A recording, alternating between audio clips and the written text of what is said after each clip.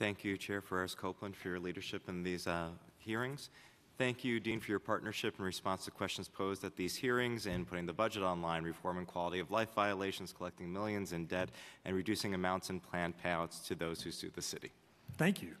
Uh, this means fewer questions, but those that remain you've heard before for years, so I'm expecting answers this year. Uh, so first, when someone asks the city for money, do you think we should ask what they'll do with it? I, I, actually, this one I don't recall, so I want to make Uh, sure it's, I'm it's not. A, it's a turn on it, which is just to follow up. Do you believe we should tie our city's investments to performance goals? I, I think we should, obviously, in many places, we should have performance goals. We should always be measuring what success is, but there are many different ways to do that. So, so I'm asking the same question as previously, which is, will you agree to follow the city charter, section 12, mandating that the mayor's management uh, report include a quote relationship between program performance goals and corresponding appropriations. We've gotten a commitment from the mayor's office of operations to do so, but we need an office of management and Then, budget. then you know what? You, we should get together with the mayor's office of operations. I'm quite sure we can figure a way to address that, as we did the other commitments I made to you, and we succeeded in, do you in promise to do so before the executive budget here? I, we should have a meeting as soon as we can, which Great. I can be next week. Uh, and now, when you've uh, bought a house or a car, have you only budgeted for the purchase price, or have you typically budgeted for maintenance too? And the follow-up on that is going to be?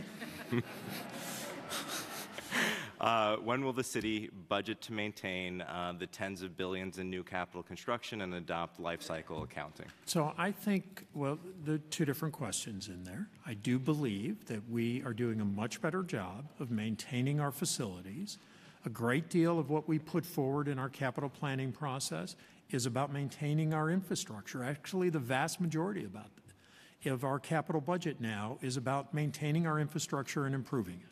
So, so, So, we but are. could we, are, tie the, so, so when somebody's investing in a, a new building or a new park or whatnot, can we make sure that associated with that investment of capital, we either have capital maintenance if it's capitally eligible or expense and have that baselined so that we're actually investing in the future, not just doing one-offs that then fall apart? I, the goal is never to do one-off and have something fall apart. The goal is to continue to make an investment. We're making a huge investment this year in the capital infrastructure and the maintenance of that capital infrastructure. As to exactly what you would like me to commit to uh, going forward on how that's reflected in a budget, that I think we need to talk through. Sure. So the, the next question is, uh, when you, if you should perchance go to buy a car, would you be willing to pay twice the sticker price? And the follow-up to that one is? Why is the city still consistently paying more than we agreed to in contracts with regard to the $4 billion in potential contract overruns, which we have only continued to grow by hundreds of millions each year? Three years later, do we have an answer? So this is a tough conversation because earlier the question was that we were putting too much money into capital projects and overestimating the amount of the capital projects. Uh, we, I've said here, we have made improvements in our capital budgeting process. We have certainly made improvements in the planning, in the planning process of capital budgeting. And do we need to do and continue to make efforts? And we're happy to work with you to continue to make efforts both in, in what the capital commitment plan looks over time. We have made clearly more investments. We're doing it at both OMB and in the agencies to do more pre-scoping, more design work up front. We need things like design build from Albany that give us that flexibility to address very much the kind of question you're talking about because very often it's the delay in the number of years in a major capital project that that that results and it's almost it's almost impossible not to result in additional cost overruns and we know with things like design build that would not be mm-hmm. happening. And, and so just for final question in the first round, the city's currently $72 billion in debt, and you plan on borrowing an additional 17 billion to 89 billion by 2021, the last possible year for this mayor. Each New Yorker's share of the city's debt is currently more than $8,400, and a child born in 2021 will be $10,400 in debt under this plan. It must be nice to have tens of billions of dollars to borrow. What will the next administration do when this mayor's borrowed all the money that there might be left to borrow under our debt limit? Well, the question is, do we want to maintain, and do we maintain in a responsible way, the capital infrastructure that we all care about? Do we reach capacity for school districts, or don't we? Do we invest and maintain redundancy in, in our water system, or don't we? There was a huge commitment, for example, on the third water tunnel that has gone on for decades. Those kind of capital commitments are important to the future and the future income of this city. What we do maintain, and we have maintained and not broken, what other administrations in the past did, that we do not allow the annual debt service to go above 15% of city tax revenues. And we've maintained that. We've maintained it, and it's been recognized. There's a reason that in every credit report, and I'm quite sure you read these, every credit report by every rating agency, that we are constantly complimented on the fiscal management and the way we approach this. When I asked about reducing debt, you posed a Hobson's choice between debt and vital city investments when we can just spend money I, I didn't mean to. Well, we, we can, we can just spend the money we make each year on infrastructure. Would you buy a TV in cash or would you buy it on layaway? So I, I, I'm sorry, I, I, we may fundamentally disagree about this, but Okay. uh, I, I, I don't, um, How much infrastructure is the city build, uh, building using revenue for PAYGO construction there, projects? there's not, there's not, as I'll get you the exact pay-go number. There is some pay-go, but it is not the majority of our capital budget. The majority of our capital budget is funded by, is funded by debt service, and there are, the debt, the type of infrastructure we're talking about has a long period of, has a useful life, and we're very careful about that. We're very careful about what is No, no, I- capitally I- eligible and what if- is not. if- I got it. If we can just move, so this is something I've raised with the mayor himself at budget meeting after budget meeting, year after year. So can we, re- and along the same lines, and so could we reform city planning, environmental assessment and review and development to ensure that new construction where development, developers make billions are forced to make vital investments in our city's infrastructure?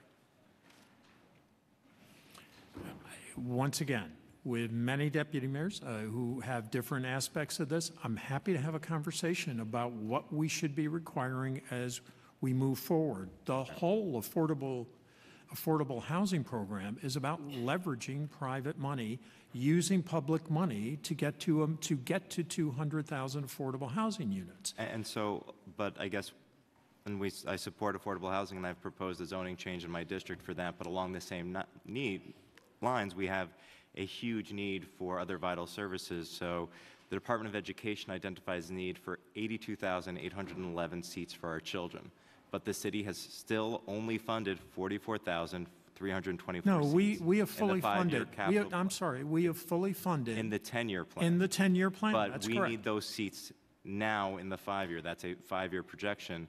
Uh, Can we fund the 82,811 seats now for the We five? are funding what, the- what SCA, which w- was given a great deal of compliments throughout the day here today, believes is what they can do and where they can find sites. And, and so along those lines, of the 44,324 funded seats, only 20,314 seats, uh, nearly half uh, don't have a site selected. So they have nowhere to build these seats. Do you think They, including? they, they have in their plan, and they traditionally are able to fulfill the vast majority of their plan, which was also a topic that was discussed here today. They have been very successful at doing that, so we have faith in SCA's ability to accomplish We, that. we had a hearing on this on the 28th, and I, I do not share your confidence. Do you think including bonuses uh, with more square footage for new developments that include community facilities like schools could help us develop the tens I, of I think where we can, where we can partner in developments, including at schools, we should pursue that, and we should try to pursue that. I don't disagree with you there. At the same time, it's not, it's not, it is simply one avenue that may be available, but there may be a lot of complexities and a lot of things that prevent us going down that avenue. I, I think my major concern is every major development in my district that the SCA ignores uh, in my district and throughout the city is another missed opportunity to build seats because we're replacing buildings with 20 units of affordable housing, with buildings with more than 200 units of luxury housing.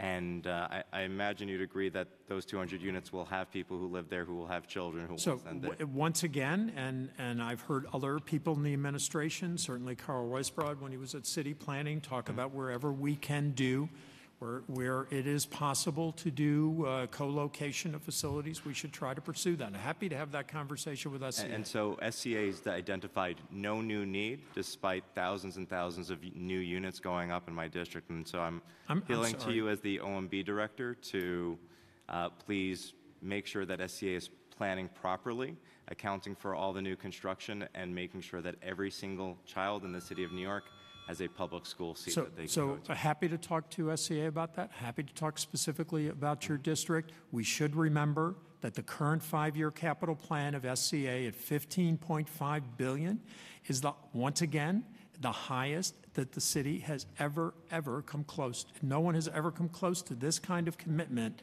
to education facilities for our children.